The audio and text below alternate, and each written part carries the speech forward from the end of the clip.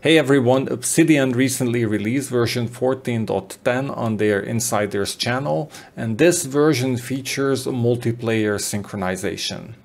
I made some changes to Excalidraw to leverage these new features, as well as I invited TFT Hacker to play with me and test this new feature on a shared vault. In this video, I want to give you a brief overview of what Obsidian multiplayer synchronization is about, and I want to share our experience setting up a shared vault and then doing some parallel editing of documents in that shared vault.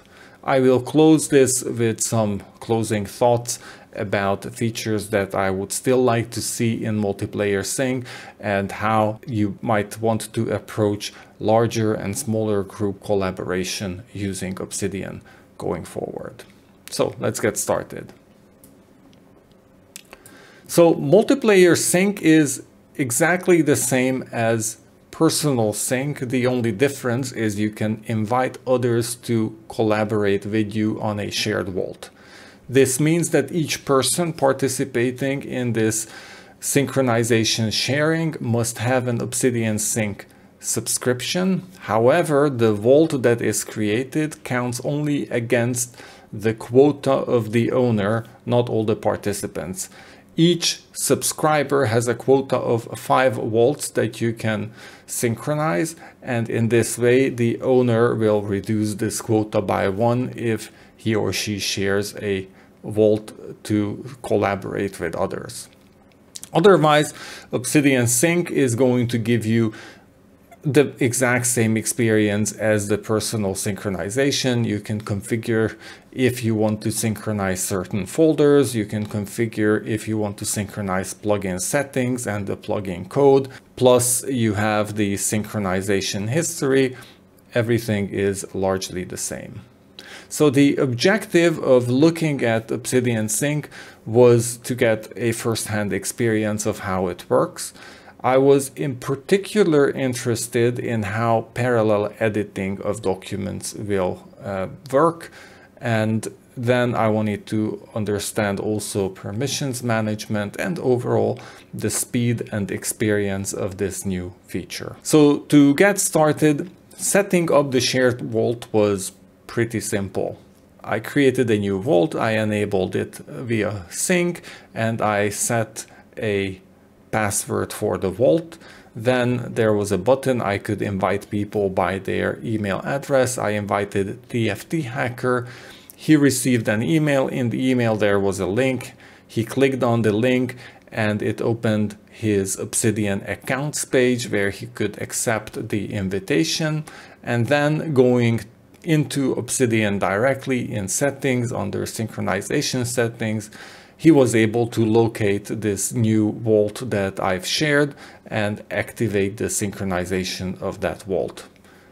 Both TFT Hacker and I had to uh, turn on a number of settings in our synchronization to synchronize the plugins, the plugin settings, and the data as well as we both had to enable community plugins so that we can use the community plugins uh, in our experiment. So overall, setting up the synchronization was very simple. It took a few minutes and it was very straightforward.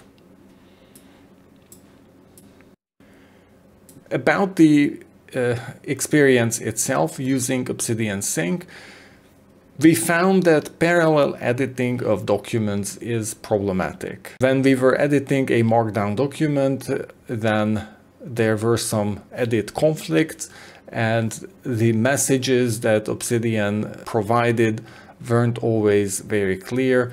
I don't remember seeing a message that my changes were overwritten. I only saw that the text that I entered on the page were overwritten by the text that the FT hacker entered. Thus, I think the parallel editing at this time uh, still requires some work. By the way, even though I made some enhancements to Excalidraw, Excalidraw also wasn't even close to the excalidraw.com shared uh, whiteboard experience Yes, you can do shared editing of the document and it is not going to overwrite stuff that you've created, but it's lagging and it is not really a shared whiteboard experience. It is good if you have a small team of people who might accidentally work on the same document and in that case there aren't any collisions but if you need a real-time collaboration on a whiteboard then I suggest that you go to excalidraw.com and then copy the end result into Obsidian. Regarding the conflicts, file conflicts, what we found was that A, there were no clear warnings. Sometimes we saw some warnings. And B, when we looked at synchronization history, it was very hard to unravel what has happened. We believe that synchronization history is great for personal use, but for a team setting, the current synchronization history is not yet strong enough to be able to understand what has happened and how synchronization conflicts have happened. It would also be good to have more granularity on the permissions. We also found that removing permissions was a bit of a, a surprise.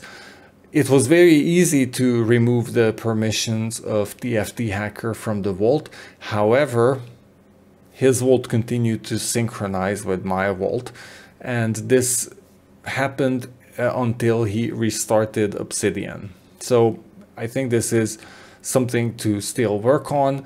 Uh, at this time, if you kick someone out from your synchronization, then until that person restarts his or her machine, he will receive all of the changes that you're making and you will receive all of the changes from that person. This is not very fortunate. In conclusion, it would be great to have real-time collaboration support in Obsidian Sync. It would be even better if the name of the person would appear next to the changes that were made. Overall, in its current form, I wouldn't recommend Obsidian multiplayer sync for teams larger than a couple of people. I believe that with size the probability of collisions will increase and it is going to be a frustrating experience based on the current history available for Obsidian Sync to work through all the conflicting cases. I think a larger team, maybe a team of 10, 15, 20 or 100 are much better off with something like GitHub Sync because GitHub provides proper check-in checkout features as well as a much more robust version history where you can check who has changed what and uh, it is just more robust and more transparent. So overall, I am still very excited about Obsidian Multiplayer Sync. I think this is a step in a very, very promising direction, but the product at its current early stage is not yet there for a large team to use it in a collaborative fashion. It is good for uh, sharing a vault with a couple of people, or it is good if you're working together in a vault and you work in more atomic documents. So that was one finding we had working with Chris that parallel editing of a large document was a problem because we always got overwritten with each other's entries. However, when we created separate atomic documents and our main document was a transclusion of these atomic parts, then working in the atomic parts, we didn't conflict with each other's edits and then multiplayer vault worked extremely well. So I think you need to keep these things in mind and knowing the speed at which Obsidian is developing, I'm pretty sure that in a couple of weeks time, we're going to have a much more robust synchronization capability built into Obsidian and it is going to be fantastic. Thank you.